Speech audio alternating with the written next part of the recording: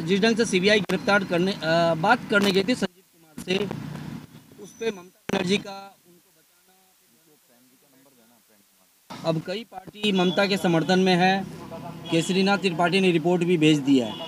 देखो honourable supreme court ने इस केस की जाँच करने के लिए सीबीआई को मार्क किया है। क्या सुप्रीम कोर्ट के ऊपर ममता विश्वास नहीं करती क्या? हर चीज़ को वो सरकार के ऊपर डालकर झूठी सिंपैथी गेन करना चाहती है? क्योंकि जो कम्युनिस्ट के लोग थे, गदर कर रहे थे वहाँ पर, वही कम्युनिस्ट के लोग ट्रांसफ़र होकर ममता के साथ आ गए हैं। पहले उन्हीं कम्युनिस्टों ने ममता के साथ ये व्यवहार किया था, आज वही ममता की टीम में लोग हैं। तो वो अनारकी जो कर रहे हैं, देश के संविधान पर विश्वास नहीं रखेंगे क्या? और मैं पूछना चाहता हूँ राहुल से साथ के साथ में, वो कहता है, हम तुम्हारे साथ हैं। राहुल जी अपनी मम्मी से पूछिए, क्या ऐसी परिस्थिति बन गई कि ममता को कांग्रेस छोड़कर भागना पड़ा? तब उसका ख्याल कर थे दीदी का। आज दीदी के साथ हैं तो तो आप अपने अपॉर्चुनिटी अवसरवाद के लिए रोज़ अपने बाप बदलोगे क्या? आपका चरित्र है कोई? करेक्टर है क्या कोई? तो इस काम के लिए तो दिल्ली में केजरीवाल ही बहुत है रोज़ अपने बाप बदलने के लिए। तो ये देश का मतलब दुर्भाग्य है देश के लिए, और देश की जनता को सोचना पड़ेगा कि कहीं ना कहीं देश में कुछ ऐसी शक्तियाँ हैं जो पुनः देश को अंग्रेज़ों के हाथ या मुगलों के हाथ सौंपना चाहती हैं। कहीं ना कहीं प्रधानमंत्री के दौर को लेकर के सब अपना प्रेजेंटेशन बढ़ा रहे हैं।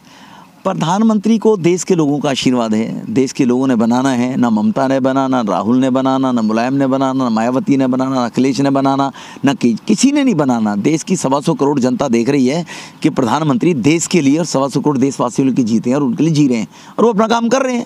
केजरीवाल जी का जो धर्रा था उसी धर्रे को अपनाते हुए ममता बनर्जी भी दिख रही है। मैंने तो कहा था ना कि उसी प्रकार के अनारकी के टोप एक ही डीएनए के एक ही मानसिकता के लोग केजरीवाल, भारत तेरे टुकड़े होंगे, इंशाल्लाह इंशाल्लाह, वहाँ खड़ा होता है।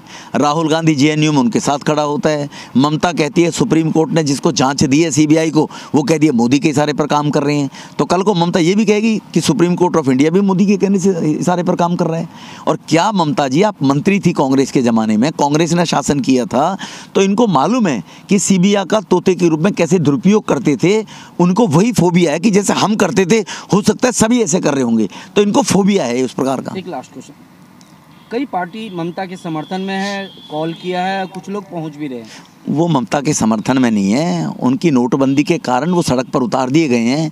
उनकी तिजोरियों में भरा पैसा देश की जनता के विकास के लिए लग रहा है। उनको टैक्स भरना पड़ गया है। जिन लोगों ने पैसे इकट्ठे कर रहे थे नोटबंदी में उनकी भुखमरी आ गई है। वो अपनी भुखमरी बचाने के लिए वहाँ पर भाग रहे हैं वो लोग। धन्यवाद सर ठीक